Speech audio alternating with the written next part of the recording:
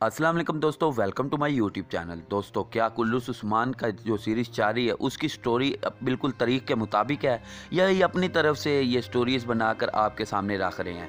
इस वीडियो में आपको हकाइक से कुछ आगाह करूँगा। उससे पहले अगर आप मेरे चैनल पर न्यू हैं तो इस चैनल को सब्सक्राइब कर दें, ताकि आने वाली मज़ीद ऐसी अपडेट्स आप तक पहुँचती रहें।